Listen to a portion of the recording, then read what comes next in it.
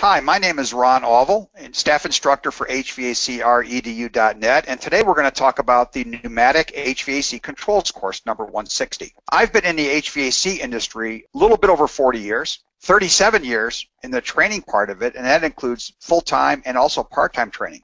I've been 16 years on the faculty of a community college teaching HVAC control systems. That also includes different roles with many major manufacturers teaching HVAC control systems, both pneumatic and building automation as well. I've also been the director of training for a major HVAC controls manufacturer. I'm the author of HVAC Control Systems, a book, fourth edition, which does have pneumatics in it, HVAC and refrigeration systems, as well as IT for HVAC technicians. For 17 years, I was with Johnson Controls as a lead technician for both HVAC and control systems, building automation. I traveled across the United States doing training for Johnson Controls for new hires plus critical important customers as well. Matter of fact, I was in charge of their new hire training and I still do some new hire training on a contract basis for Johnson Controls. I retired a couple of years ago as a senior technician, troubleshooter, and project manager for Johnson.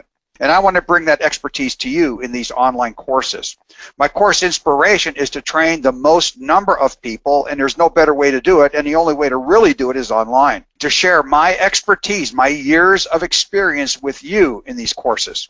To reduce your expenses. You don't have to travel, I don't have to travel, and you can do this after work each day. And I want you to be able to take advantage of my experience. Interestingly enough, for pneumatics, my first job was in a college and we had 200 plus buildings with all pneumatics. This is before the electronics and DDC in the late 1970s. I've been teaching pneumatic control since 1979, actually. I've been a pneumatic controls contract trainer for Honeywell and Johnson Controls as well, and including a stint as a independent pneumatic controls consultant for major facilities in the United States. My course inspiration is a very simple one here. It's not about me. This is about all the expertise that you are going to gain that I learned from what I call the old timers, the people that I carried their toolboxes in this industry when I came on board. And I'm going to pass this along to you the same as they did for me back in that day. These are the people that worked exclusively on every manufacturer, every vendor of pneumatic controls out there today. What about the current need? Now, some people say that pneumatic controls is dead, but let me tell you it's not.